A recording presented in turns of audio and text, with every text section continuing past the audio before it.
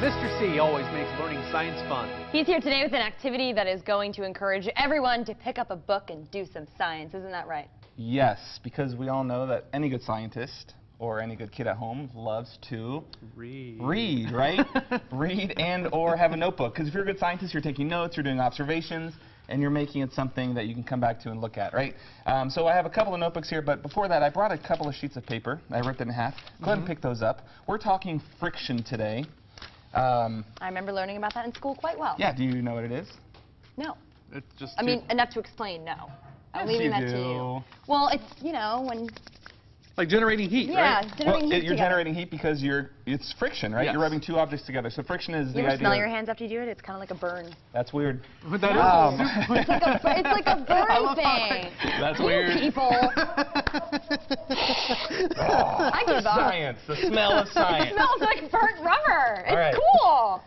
You people are judging Actually, it's warm. I think I just killed It's Jim. actually warm. with laughter. So, when we rub our hands together, rub your hands together for me. Yes, we're, we're generating heat because we're creating friction, right?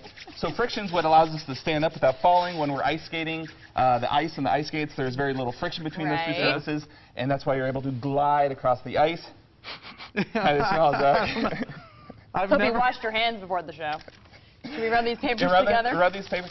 They actually they move across one another very smoothly, right? Very easily. Yep. And that, that's the point. So these two sheets of paper have um, limited amounts of friction, but every object creates friction with another object, right? It's the idea they're trying to move across one another.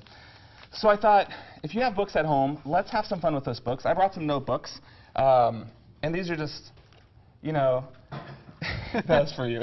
Thank you.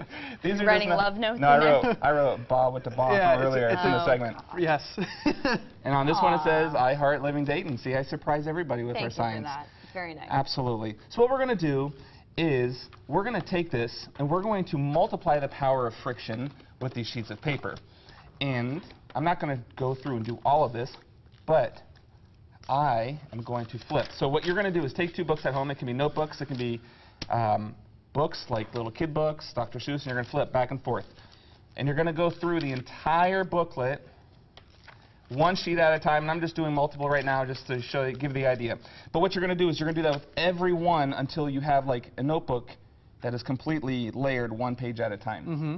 Okay? So right here, remember how easy those two pieces of paper glide across one another? Yeah. Right. Zach, Yes. I'm going to let you do the honors. Should to rip it apart here? Try to pull it apart. Now the tape on there, people are going to see the tape. They're going to say it's taped together. I just did that so that the the um, front and back pages don't so come apart. It's not gonna happen. It's No. It's not going to happen, It's right? It's not gonna happen. Give Julia a try. There you go.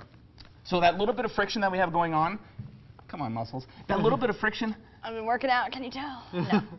Uh, yeah, I can't do it's it. multiplied, right? Yeah. It's a huge amount of friction that we create in there because each of those pages are touching. There's a lot more surface area, and it's just like impossible to do. Ah!